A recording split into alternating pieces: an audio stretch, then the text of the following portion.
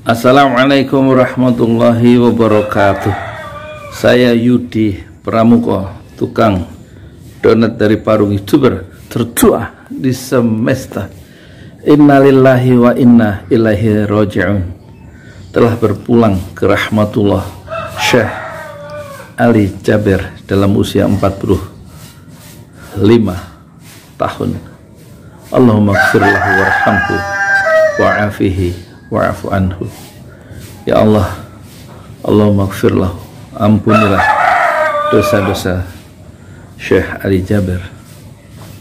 Dan terimalah amal-amal kebajikannya ya Allah sebagaimana yang telah engkau tahu sendiri.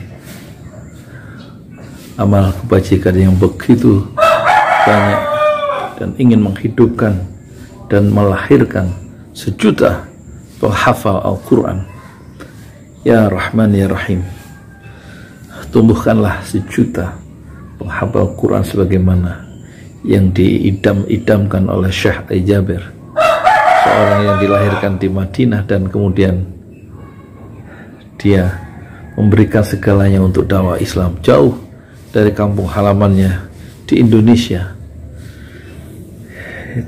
Tadinya saya lagi bikin skrip ya apa istilahnya catatan lah data-data tentang Syekh Ali Jabir untuk saya bikin semacam biografi tentang Syekh Ali Jabir secara serius.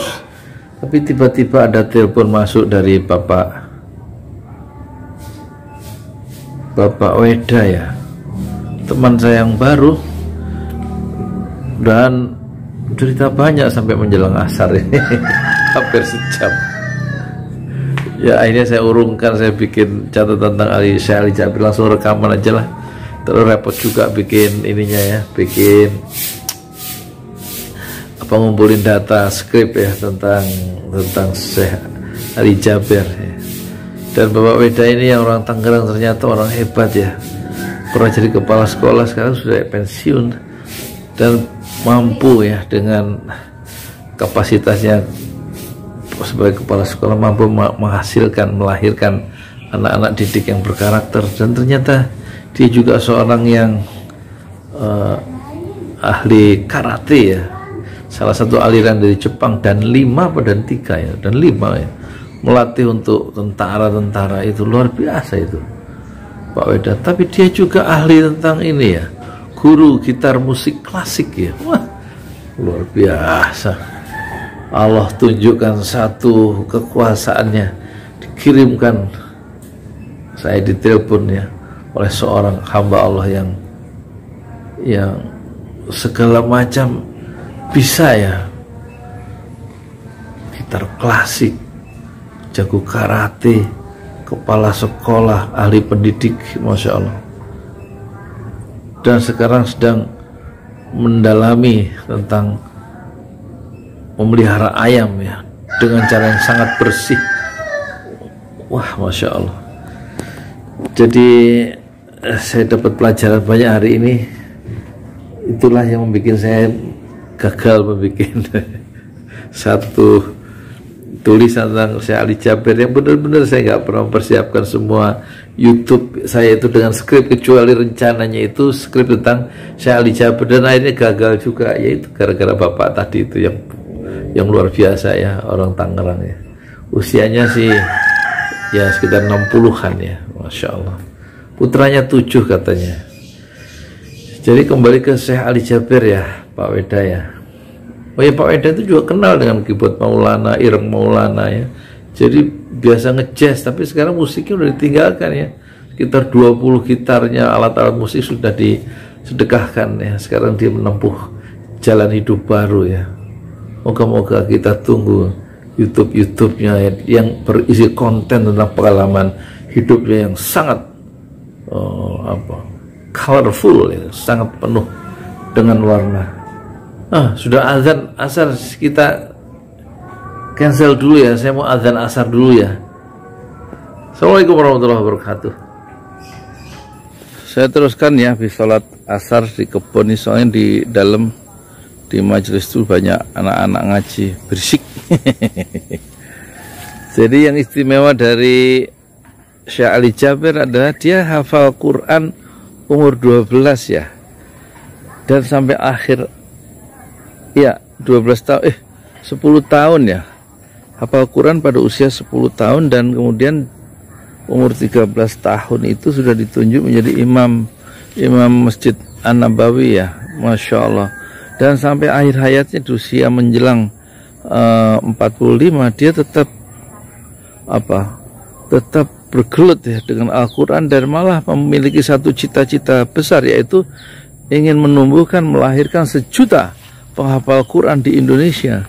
Berarti sejak kecil sampai akhir hayatnya sekitar kalau dia belajar usia 4 tahun misalnya sampai 44 tahun selama 40 tahun dia konsisten berinteraksi dengan Al-Quran dan tidak dikecohkan oleh cita-cita yang lain kecuali mengagungkan dan menyebarkan nilai-nilai Al-Quran di satu tanah yang jauh dari kampung halamannya di Madinah.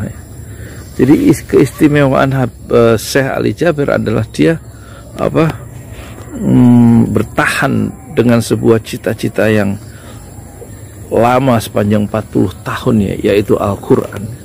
Itu yang pertama. Kemudian dia juga menyerahkan segalanya untuk untuk dakwah Islam ya, mendakwahkan Al-Quran di tanah yang jauh dari kampung halamannya. Itu mengingatkan kita terhadap uh, siapa itu yang dari Sudan, ulama dari Sudan yaitu Syekh Ahmad Surkati ya. Itu dia menghabiskan sisa usianya dari muda dan sampai wafat ya di di Jakarta ya.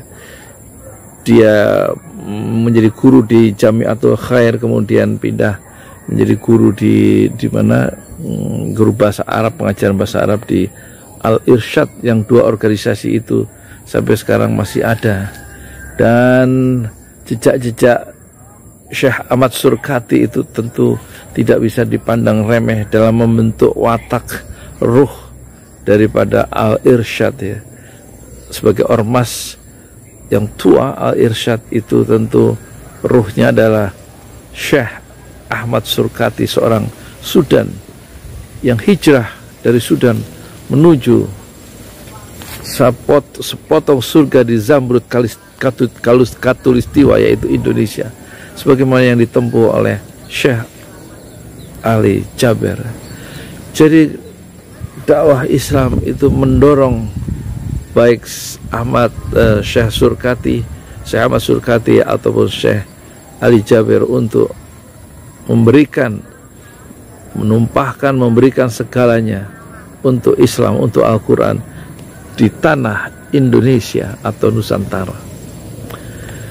Itulah keistimewaan dari Syekh Ali Jabir dia berani meninggalkan satu tanah, satu kota Nabi yaitu Madinah untuk menyebarkan Islam di satu wilayah kawasan yang jauh 10 jam di udara melalui pesawat terbang alangkah lamanya ya. Dan dia bertahan ya sampai kematiannya tetap memeluk Al-Quran. Wakafa bil mar'i al maut hasanah mau'idhah bukan hasanah mau'idhah Cukuplah kematian itu menjadi pelajaran bagi orang yang masih hidup. Wa kafa bil mar'i al maut mau'izatun. Kata Rasulullah, jadi jasad yang terbujur kaku dari Syekh Ali Jabir memberikan ingat kepada kita sebagai orang-orang yang masih dianugerahkan nafas yang mengalir hangatnya dari celah-celah hidung kita untuk mengambil satu pelajaran yaitu nasihat dari seorang Ali Jabir Syah Ali Jabir yang sekarang sudah menjadi jenazah, sudah menjadi mayat. Sebelum menjadi mayat, sebelum kematian itu tiba, Syah Ali Jabir sudah memberikan sebuah nasihat-nasihat yang melalui Al-Quran. Kata Rasulullah, nasihat itu ada dua, yaitu nasihat yang bisa bicara dan nasihat yang tidak bisa bicara. Nasihat yang bisa bicara adalah Al-Qur'an dan nasihat yang tidak bisa yang tidak bisa yang tidak bisa bicara adalah Syekh Ali Jabir yang sekarang diam membisu dan terbujur kaku sebagai seorang yang telah menjadi jenazah. Jenazah Syekh Ali Jabir tetaplah menjadi nasihat untuk kita semua. Allahumma gfir lahu warhamhu wa'afihi wa'afu anhu. Ya Rahman Ya Rahim. Terimalah amal-amal kebajikan yang dilakukan oleh hamba Syekh Ali Jabir dan berikanlah dia tempat di sisimu semulia-mulia tempat di sisi engkau ya Rahman ya Rahim saya di Pramuko tukang donat dari youtuber tertua di semesta ya Allah lindungilah hidup kami di dunia yang penuh dengan fitnah dan ujian ini dan lindungilah hidup kami di negeri akhirat yang penuh bahaya dan tidak bertepi. Assalamualaikum warahmatullahi wabarakatuh